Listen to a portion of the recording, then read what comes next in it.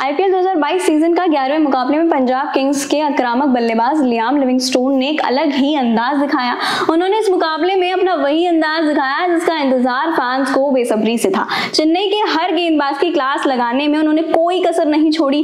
Toss हारकर पहले बल्लेबाजी करने उतरी। पंजाब की शुरुआत भले ही खराब रही, लेकिन लियाम लिविंगस्टोन ने धवन के साथ मिलकर मैच का रुख ही पलट दिया। इसी वजह से उन्हें मैन ऑफ़ द मैच के अवार्ड से भी नवाजा गया है। चेन्नई सुपर किंग और पंजाब किंग्स के बीच खेले गए इस मुकाबले में टॉस हारकर पहले बल्लेबाजी करने उतरी।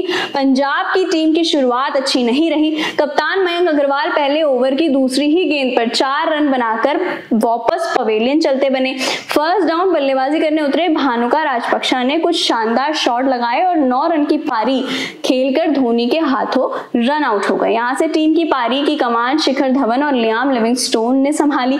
दोनों के बीच ताबड़तोड़ अर्धशतकीय साझेदारी हुई। चेन्नई के खिलाफ लियाम ने अपना आक्रामक अंदाज दिखाया और 32 गेंदों का सामना करते हुए 60 रन की आतिशी पारी खेल डाली। इस पारी में उन्होंने पाँच चौके और पाँच गगन चुंबी छक्के जड़े। उनके इसी प्रदर्शन को देखते हुए उन्हें मैन ऑफ़ द मैच के अवार्ड से नवाजा गया है। चेन्नई के खिलाफ चौवन रनों से मिली ताबड़तोड़ जीत के बाद लियाम लिविंगस्टोन को मैन ऑफ़ द मैच का अवार्ड जो है, वो दिया गया। ये थी हमारी आज की आईपीएल से जुड़ी हुई अपडेट ऐसी ही अपडेट से अपडेट रहने के लिए हमारे चैनल को सब्सक्राइब कर लीजिए।